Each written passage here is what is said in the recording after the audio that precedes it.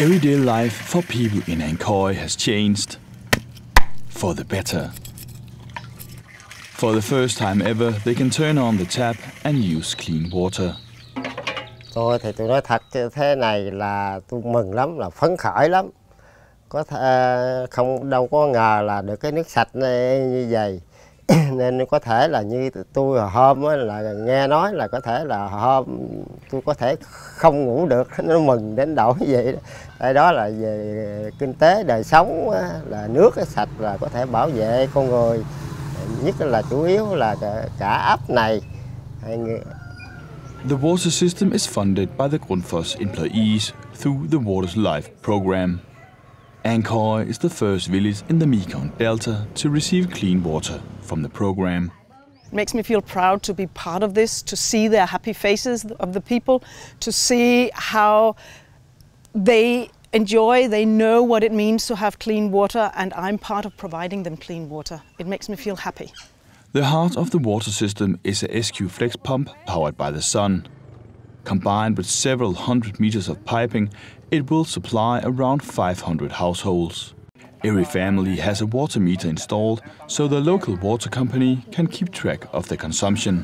Mới chạy đây mà tôi thấy rất là thích thời sáng giờ.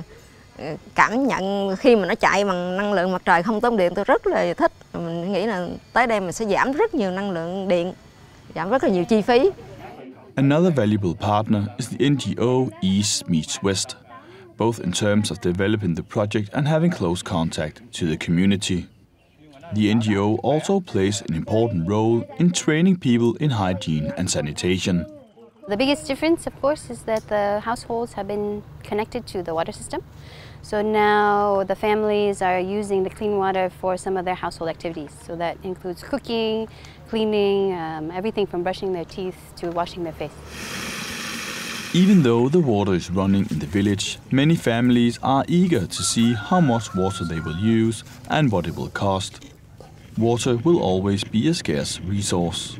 Tại vì là ở đây thì nước dơ cái bằng dữ lắm tại vì ở ngoài chợ với ngã ba đó là ở nó toàn độ dồn đây không à đó rồi nước lớn nó cũng vô mà nước ra dòng rồng nó cũng ra nên cuối cùng mà bị ảnh hưởng nên nước sạch thì sạch ở đây bà con mừng dữ lắm. Nên mình cũng phải hà tiện tôi nói cô nghe mình phải hà tiện vậy nè.